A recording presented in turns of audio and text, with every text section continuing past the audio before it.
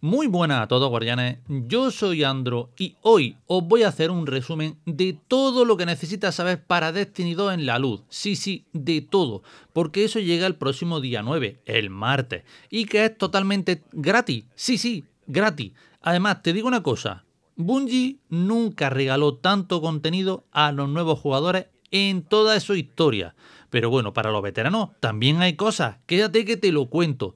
O sea que este vídeo no te lo debes de perder, sea nuevo jugador o veterano. Además, te voy a dejar todas las marcas de tiempo en la cajita de descripción para que vayas directamente al grano.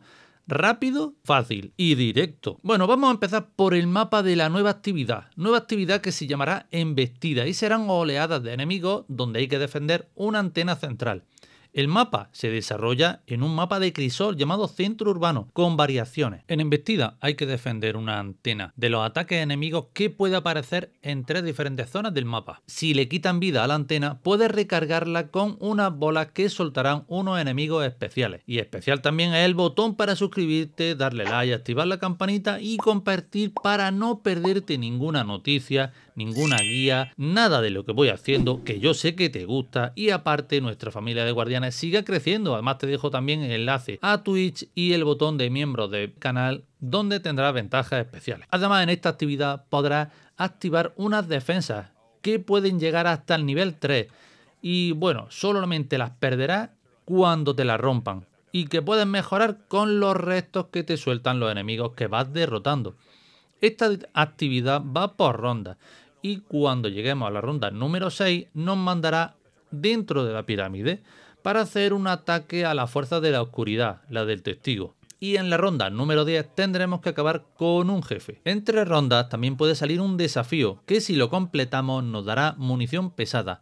Tenemos tres modos de juego, Modos de juego que son para 3 jugadores, el casual que son de 10 rondas y luego el normal de 50 rondas y el legendario de otras 50, pero con más dificultad. En el modo de 50 rondas el nivel de los enemigos subirá cada 10 oleadas. Las recompensas serán cada 10 oleadas. Y será, bueno, en el modo normal un cofre, en el de leyenda dos cofres y en ambos, si haces el desafío dentro de ese tiempo que te pone, te pondrá de recompensa un cofre adicional. No tenemos límite de tiempo y si rompen la antena pierdes la actividad y vuelves a la órbita, como si fuese un gran maestro pero no pierdes las recompensas que hayas conseguido. También vamos a tener una nueva área social llamada Salón de los Campeones, donde estará Lorsax, uno de los NPCs, que tendrán un nivel de progreso independiente propio de esta área, donde conseguiremos la armadura con inspiración de Destiny 1 y las monedas con las que podrás abrir los cofres del salón que están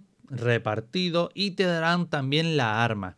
Estas armas son contención, la reclusa, la cima, sucesión, guillotina, jurado ahorcado, el pulso del Sibrey, cabeza de martillo, horno de fundición, tránsito extremo, aullido de luna y el magnífico golpe de medianoche. Desbloquean 6 de estas armas el día 9 y luego una por semana. Los per del arma pináculo, el de la reclusa, maestro de armas, el del aullido de luna, aullido magnífico y el de micromisil de la cima van a sufrir retoques.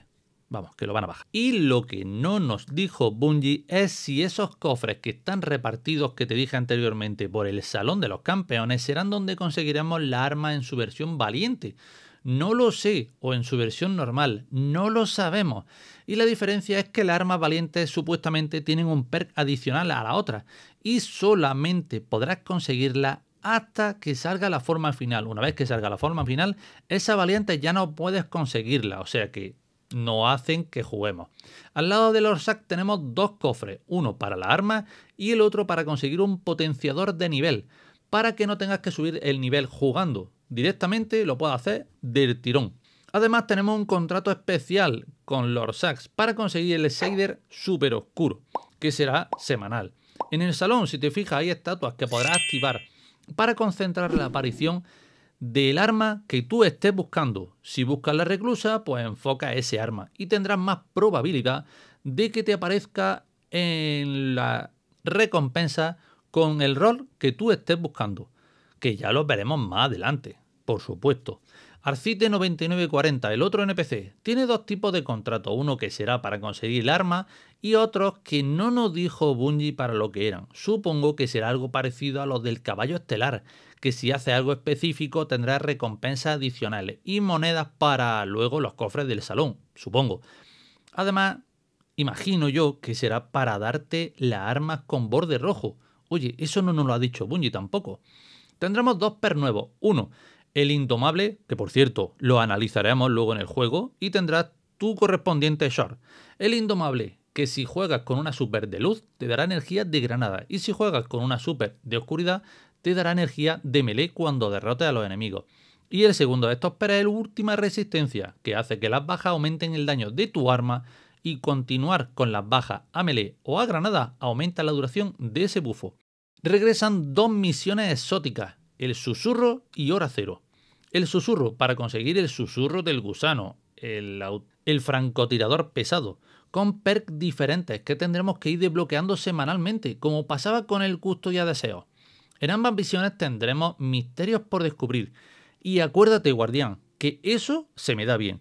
Ya te dije dónde estaban todos los puzzles del custodia deseos la primera semana que salió, antes de que los liberase Bungie te hice una guía completa, acuérdate. Además cambian la mecánica del jefe final y tendremos dos modos de juego, el normal de 40 minutos y el modo difícil de 20 minutos. También nos darán naves nuevas, la de hora cero que será totalmente nueva y la de susurro que será reeditada. Por cierto, hora cero se libera en mayo, la fecha no nos la han dicho. Además de ambas misiones, te voy a hacer una guía al detalle. Sí, como a ti te gusta, figura. También tenemos tres mapas nuevos de Crisol. El día 7 de mayo los liberan.